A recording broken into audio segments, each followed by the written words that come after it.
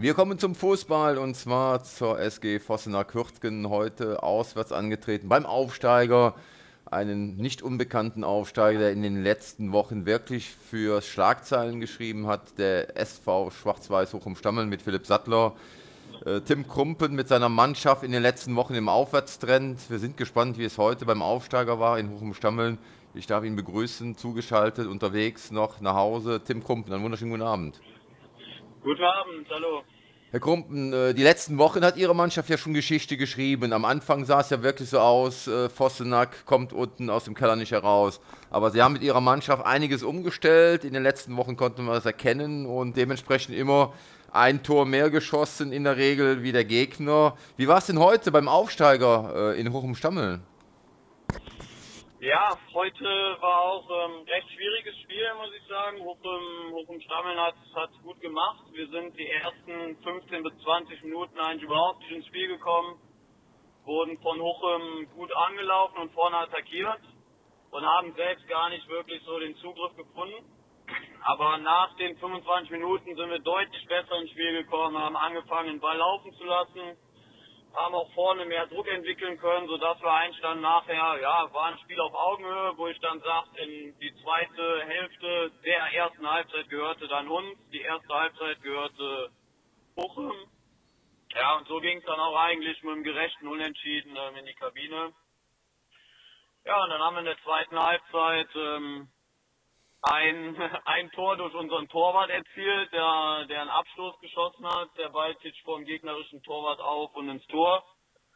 Plus zwei Standardtore, hinten dann gut gestanden, zum Glück nur eins zugelassen und so das Spiel dann 3 zu 1 gewonnen.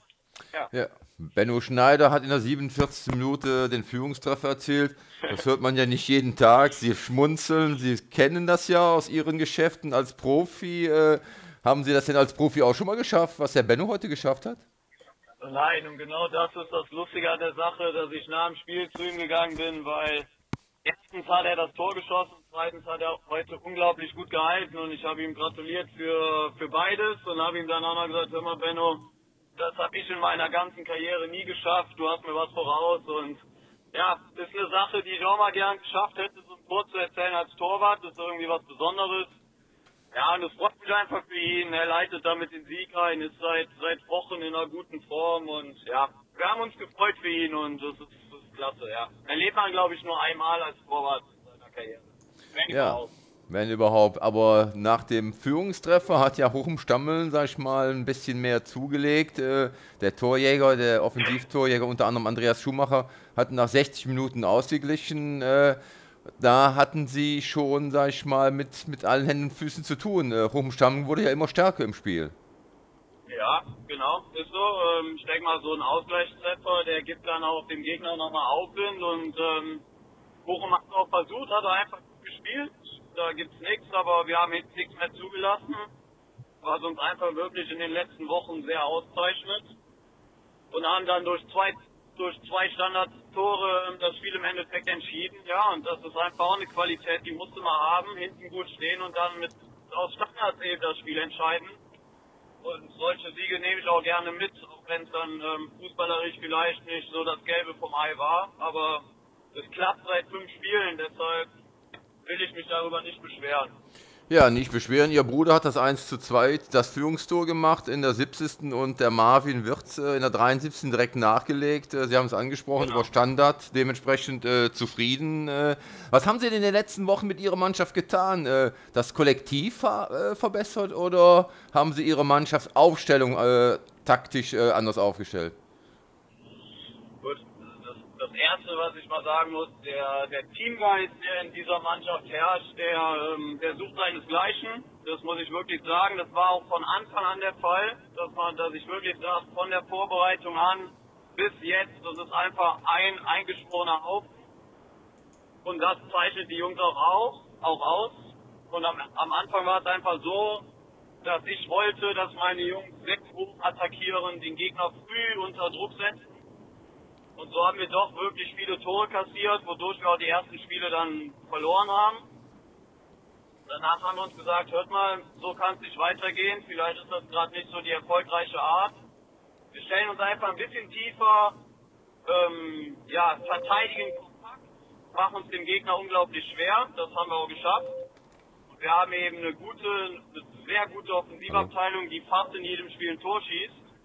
ja, und das macht im Moment auch.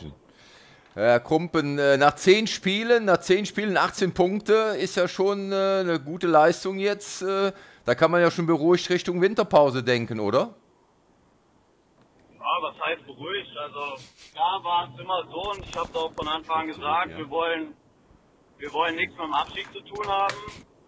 Und ich hoffe einfach, dass wir das jetzt inzwischen auch geschafft haben. Und wenn man sich jetzt mal die Tabelle anguckt, dann mischen wir oben mit. Ne? So, wir wollen, wir wollen weiter siegen, mal gucken, wo es landet. Nächste Woche ein Heimspiel. Ich glaube, zu Hause in Potsdam können wir einfach jeden schlagen. Es ist einfach so, die, die Stimmung, die da herrscht, die Zuschauer am Rücken, ist immer was möglich. Und ähm, ja, gucken wir mal, wo die Reise hingeht. Aber ganz wichtig, ähm, wir wollen gucken, dass wir von unten wegbleiben und uns jetzt einfach oben da vielleicht auch ein bisschen festhalten, weil die Gegend ist deutlich interessanter und macht einfach mehr Spaß. Und ich glaube, dafür spielt jeder Fußball soweit es geht nach oben. Ne? So ist es eben. Tim Krumpens zum heutigen Spiel beim Aufsteiger in Hochenstammeln und äh, schaut natürlich sehr optimistisch jetzt nach vorn in den nächsten Wochen.